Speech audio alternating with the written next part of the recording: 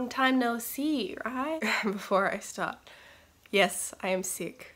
I I don't know if you can tell, but but anyway, where have I been? So basically I've been on a 10 day cruise.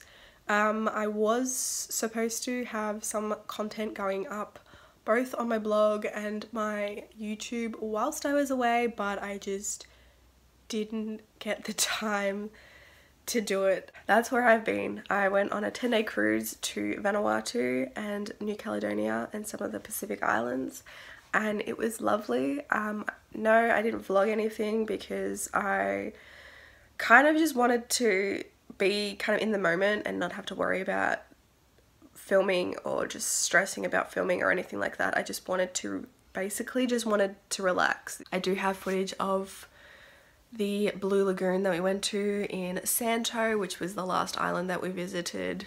Um, so I'll insert that here because it's pretty and I like it.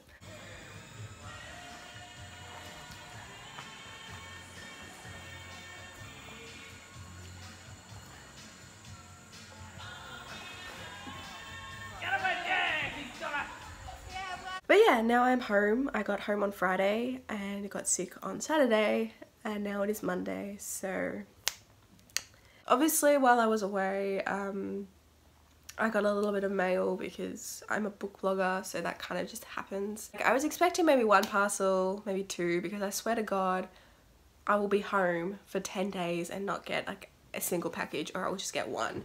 But apparently I got four let's do a bit of an unboxing to start off this vlog, shall we? So I got four packages. They're all from publishers. Um, three of them are from Hachette and the top one is from Bloomsbury. So thank you Hachette and Bloomsbury. So this one's from Bloomsbury. I believe there's two books in here because it feels quite thick. I know what the bottom two were from Hachette um, purely because they were a bit water damaged. The packages themselves were water damaged when I grabbed them. So I was scared that the book inside the package would be water damaged as well, so I wanted to check. I also just wanted to check what the book was. But anyway, number one. Oh, so satisfying. Ooh, hello. Two books. Thought so. Ooh, they both are, I think. They are. So we got two books from Bloomsbury. The first one is Watch Us Rise by Renee Watson and Ellen Hagan. I don't know what this is about. It's about two best friends who are basically just sick of how women and girls are treated and they start like a, a feminist club basically. And this one will be released in on February 12th next year. So thanks for that one Bloomsbury. I'm very keen to read this one. I love a good feminist YA story, so that's cool. And the second one is Imprison the Sky by A.C. Gaughen. Gaughen. Uh, this is the sequel to Reign the Earth. This one is set to be released on January 22nd next year. Cool. Thanks Blooms. And so the next three are from Hachette. I will start with this one which as you can see I have opened. This one was the water damaged one. And it is do, do, do, Izzy and Tristan by Shannon Dun Dunlap. This one is again another arc and this one will be released in March 2019. This is a gripping tale of first love for anyone who loved all the bright places and the hate you give. The hate you give I wouldn't say is really a love story but interesting. The next one from Hachette is Louis and Louise by Julie Cohen, which is to be released in January. This is again an arc. This sounds like a quite an interesting story. I'll read the blurb to you because it's not very long. Louis David Alder was born on the 8th of September 1978 to Peggy and Irving Alder of Casablanca, Maine. Louise Dawn Alder was born on the 8th of September 1978 to Peggy and Irving Alder of Casablanca, Maine. In their moment of birth, Louis and Louise are the same person in two different lives. They are separated only by the gender announced by the doctor and a final E. If you could look at one life in two different ways, what would you see? I'm very confused about the blurb. I don't know if they're like twins or if it's about one person's story about trying to find themselves if you know what I mean. I'm looking forward to trying this one out. Another one from Hachette. And I have no idea what's in this one, so...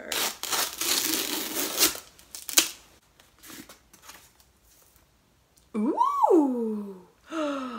this is exciting. I've heard really good things about this book. Hello! I got an arc of The Girl King by Mimi Yu. And it is so pretty. Look at that. The most exciting YA debut of 2019 has arrived. Ooh. Two sisters, one crown, a war that could tear the world apart. I am very intrigued by this one. This one will be released on the 10th of January next year. The fact that all of these books um, are to be released next year freaks me out. Like, what the fuck? It's crazy. So there are all the books that I received while I was away. Was not expecting any of these at all. Like, Literally, I was not expecting any book mail. And they're all ARCs, which is really cool. I haven't received a bunch of unsolicited ARCs in a very long time. But yeah, thank you Hachette and Bloomsbury for sending these my way. I'm very excited to pick some of these up. So now let's get some stuff done for today, shall we? It is Tuesday and I didn't continue to film anything yesterday. I did get some stuff done that I wanted to get done, so at least there's that. But I have actually just set up a white blanket to take some Instagram photos on, which I'm just as shocked as you are.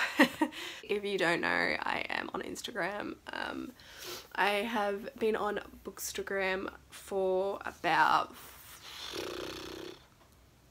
four years it would have been four years in October. This year, I think especially with the algorithm and just everything, I was trying to change up my theme and my Instagram and just kind of what I did on Instagram a little bit more. Um, and I found it really difficult and I just kind of lost all motivation for Instagram and I could not be bothered putting so much effort into all these photos and stuff when I A wasn't enjoying it at the time and B just wasn't getting the engagement that I used to like last year and the year before. It really kind of sucked. I felt like Instagram was just kind of becoming a chore for me as well. Like I'd have days off from work and I would just be like oh shit I've got to take Instagram photos today because I don't have any new ones that I and like I need to post because I was trying to post every single day and I think I just kind of burnt out my creativity and my motivation for Instagram. It just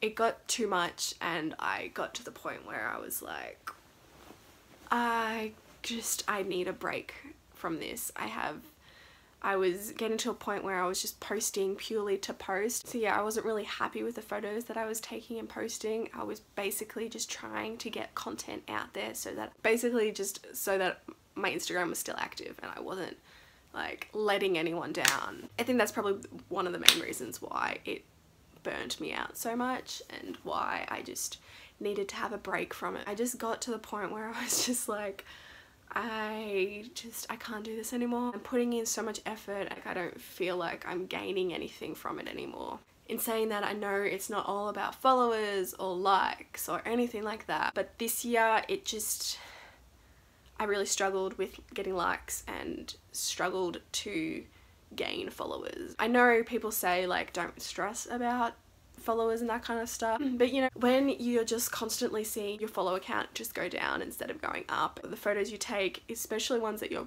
quite proud of when when you start to see them kind of get less likes and when Instagram tells you about 5% of your followers are actually seeing the photos that you post it kind of gets to you a little bit so I took I took a break and then I kind of tried to keep posting every once in a while but then again I just had no motivation to take photos. And even when I did have motivation to post photos I just didn't have any inspiration. So it's been a while since I posted on Instagram and I just miss interacting on Instagram with people and taking photos and being creative with my photos because I feel like this year I lost a lot of my creativity. I really missed just taking photos and being really proud of them.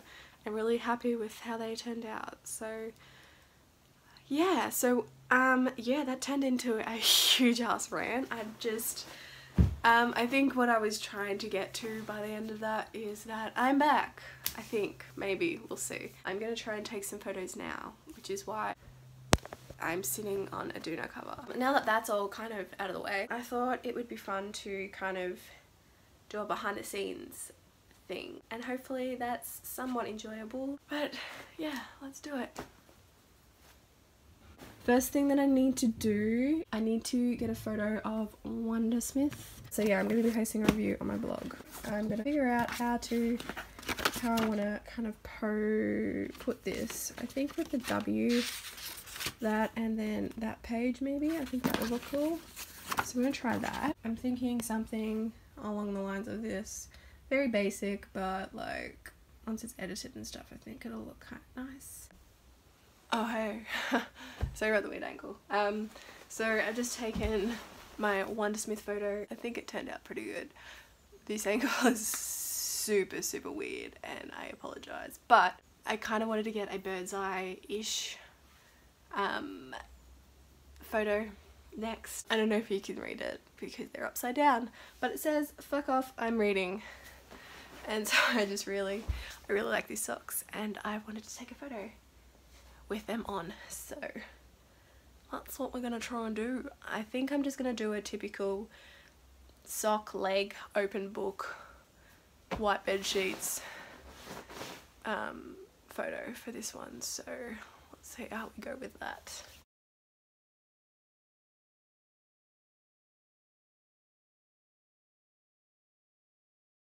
So bird's eye view did not work. Um, I just could not get the right angle.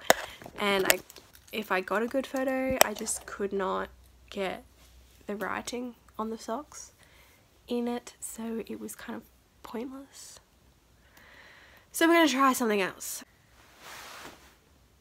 so I don't know if this is gonna work I don't want my bookshelves in the background so I still want it to be something like I don't I forgot how hard it was to take bookstagram photos sometimes.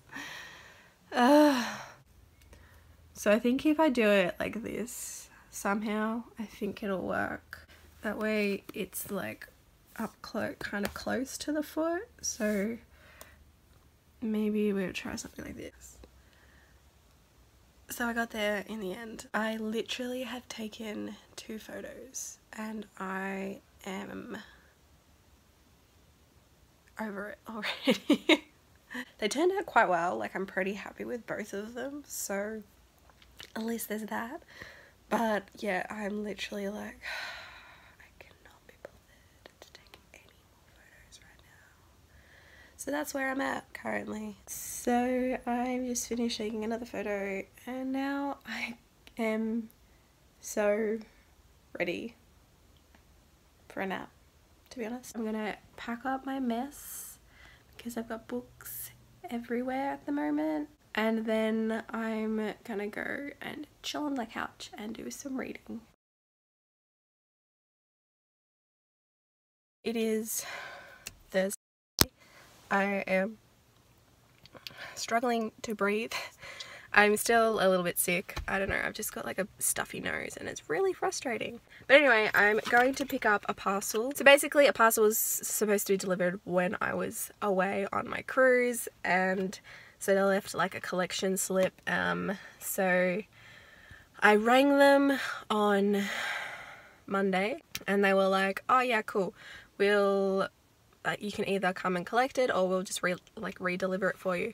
And I was like yeah that's fine just re-deliver it for me. And they're like oh cool it'll be like um it should be delivered tomorrow. Are you home? I was like yeah I'll be home tomorrow on Tuesday. Because I had the day off on Tuesday. They're like okay cool sweet we'll put it out for delivery. You'll get it tomorrow. I guess it's like four o'clock on Tuesday and I'm like okay it's not coming today. I what the fuck? I've been home literally all day like I literally hadn't left the house um, I was busy doing other stuff, but I also didn't really want to leave the house because I didn't want to risk missing the delivery. And then yesterday, being Wednesday, I had work all day. I didn't get home until 5.30. And of course, they give me another fucking slip. So they tried to deliver it yesterday when I wasn't home and no one was home. So now I'm just gonna go and pick it up because I can't be fucked trying to re-deliver it again. So I feel like it's just gonna be easier if I just go pick it up. So that's what I'm gonna do. And I also noticed when I was coming to the car that I had a package in the mail. So I'm gonna try and somehow unbox this for you because I have no idea what's in it. I just don't know where to sit my phone to do this. That works. Anyway, I'm going to unbox this. Excuse my um, dream catcher there, but anyway. when that happens. It's also really warm in my car at the moment, so... Ooh! Oh, it's so cute! I don't even know what that is. There's like little things all over it and it's got it's like wrapped and then on the back of this little thing it says to Danielle from Santa. I don't even want to unwrap it now. It's a hardcover. Oh, that's so cute. I don't want to, I want to take a photo of it. That's so sweet. Okay, I might, uh, okay. I'm going to take some photos and then I'll like unwrap it properly when I get, unbox it properly when I get home because I don't want to ruin this just yet because it's really cute. Anyway, I'm going to go and pick up this parcel now. I can't vlog and drive because I've got nowhere to, for my phone to sit. It'll end up falling over and I have mixed feelings about people that I just, I can't, I don't know, it's just, I feel like it's kind of unsafe. If I try and vlog and drive, this is what will happen. See? I told y'all. Got the parcel and it's from Harper and I had no idea what it was. Was not sure and then I just checked. It's literally says it on the side what's in it and I am extremely excited because it's Ladies Guide to Petticoats and Piracy by Mackenzie Lee and it's a damn hardcover. I was hoping I would get this um, and I did request it ages ago and completely forgot about it and just assumed that I wasn't getting it because this book has been released for quite a while now. But yeah, um, thank you Harper. This is awesome. This vlog has pretty much just been unboxings and I apologise but um, whatever. Anyway, cool. Let's go. I'm currently at my parents' house and Minnie Mouse.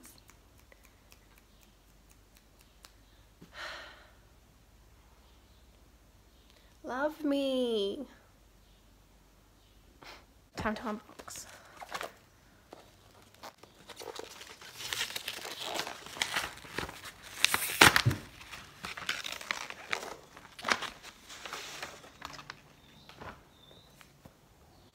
It is a book called Dear Santa and it says a surprising and often hilarious collection of letters to Santa from some of Australia's most notorious and best loved grown-ups. That's really cute. Thank you, Hachette. Come love me. Bella. Come here. Bella. Bella. Bella.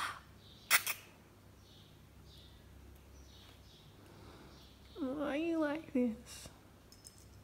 It is Friday and I've just finished filming a video. Still sick.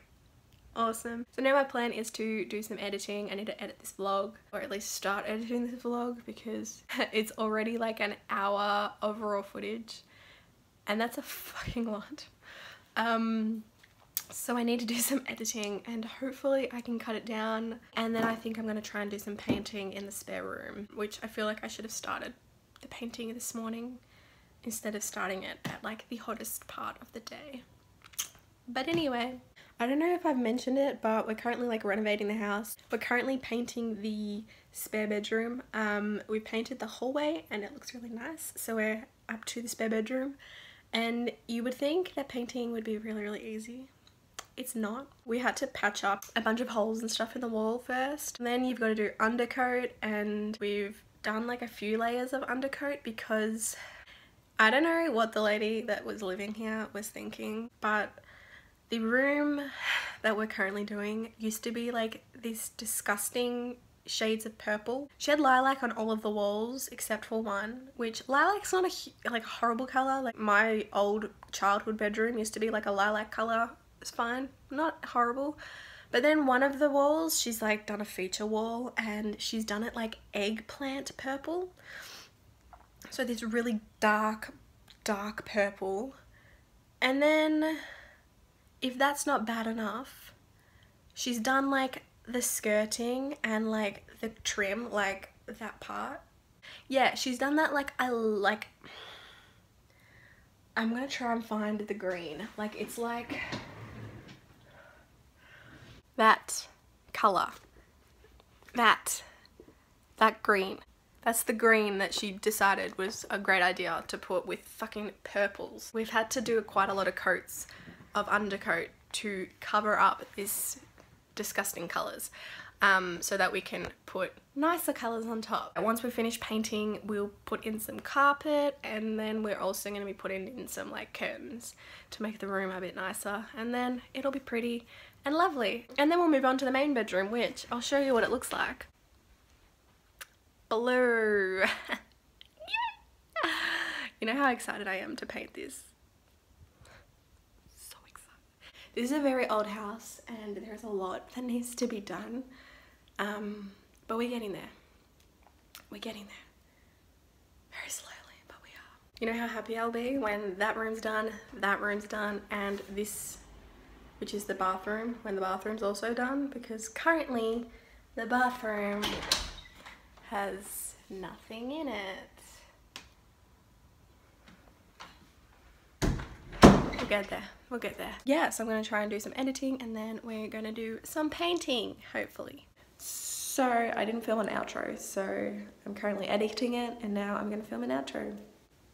But I thought I'd also quickly give you a little update on the painting. Um, I didn't really show you what the room looked like beforehand, but it was completely white. Um, like everything was white because that's the color of an undercoat.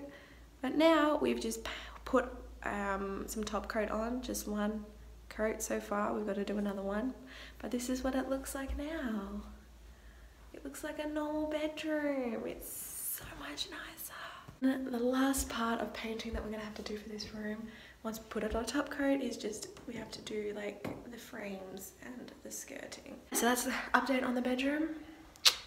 Once this is done and has carpet in it and has curtains, we're gonna move our bed into this bedroom and then work on the main bedroom. But anyway, I hope you guys enjoyed this vlog. I know I didn't really talk about any reading or do any reading, so it's not really a reading vlog. I did finish like two books, I think whilst I was vlogging. I just didn't vlog about them. I will have my spring reading wrap up coming soon. So stay tuned for that. That should be going up the week after this comes up if all goes to plan. I hope you guys enjoyed this vlog slash basically just a huge unboxing video. Sorry. And I will see you in my next video. Bye.